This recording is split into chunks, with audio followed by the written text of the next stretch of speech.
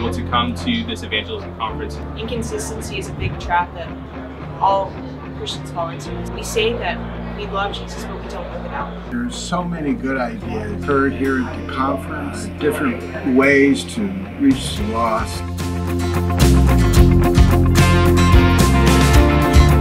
It has been wonderful to see brothers and sisters from all over the state of California.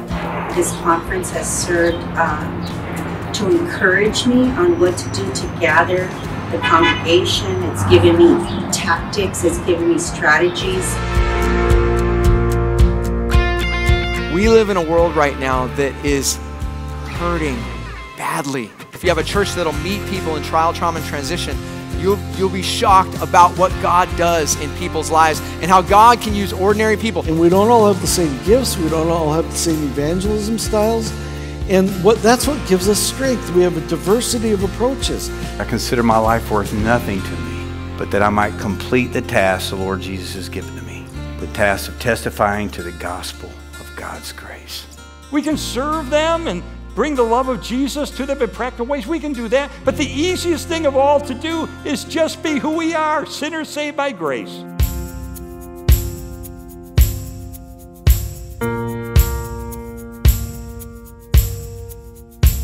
I think is so powerful, not just to do it by ourselves, but see churches collectively coming together to consider how we can evangelize and engage our community. And I'm just overwhelmed right now. So much information. I just hope that with God's blessing that I'll be able to put many of these things uh, to work. We all need to be together to share the gospel. We're not divided by church buildings. We're all one church. People are not projects for you to fix. They're mysteries to be wondered at. They're perfectly capable of being used by God in whatever state they're in.